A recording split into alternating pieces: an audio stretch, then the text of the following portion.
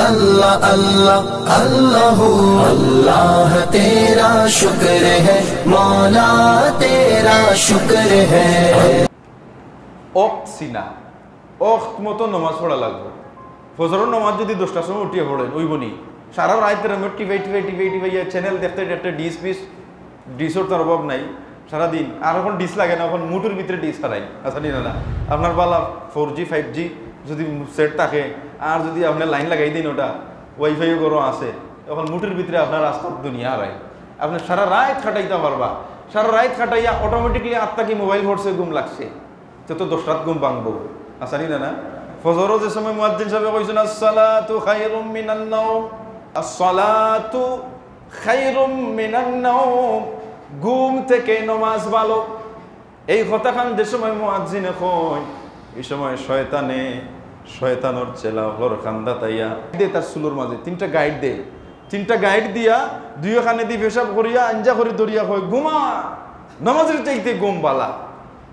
আল্লাহ রসুল্লাহ ফরমাইন, যে সময় কোনো মানুষ আজান শুনিয়া ঘুম থেকে উঠে যায়, ওটার লগে লগেও শয়তানে যে তিনটা গাইড দিয়েছিল একটা গাইড ছুটি যায়। যে সময় সে অজু করিলায় এই সময় দুইটা গাইডও ছুটি যায়। যে সময় নমাজের প্রস্তুতি নেই, তিনটা গাইড ছুটি যায়। শয়তান শয়তান খোল্লা তোলে দি দিয়া হরিয়া যায়। ফোকাস সুবাহান আল্লাহ সুতরাং ঘুম থেকে আমরা উঠতাম ফজরের সময়। সূর্য উদয়ের সময় আপনি ঘুমাইতা না। সূর্য যে সময় উদয় হয়, সূর্য উদয়ের সময় ঘুমাইতা না। সূর্য উদয় বাদেও আপনি হাঁটাচড়া করতা, শরীর বাতাস লাগাইতা, টাইরর এটা কবিতা যে, সুবেহ কি হাওয়া, সব বেমারও কি দাওয়া? তার মানে কি তা যে সকালকুর বাতাসটা সব রোগের ঔষধ। আল্লাহ কোন জান, কোন সময় আমরা হজর বাদে ঘুমাই না? যে সময় ডাক্তারে কইব, তোমার ডায়াবেটিস সাইজ হয়ে গেছে, তোমার কোলেস্টেরল বাড়ি গেছে, তোমার কিডনির সমস্যা ইচ্ছে এখন আর ফজর বাদে ঘুমাইতে পারত না। এখন ডাক্তার বাবার হওয়ায়, এখন আমি আর ফজর বাদে ঘুমাই না, এক কিলোমিটার আটি আসানি না না?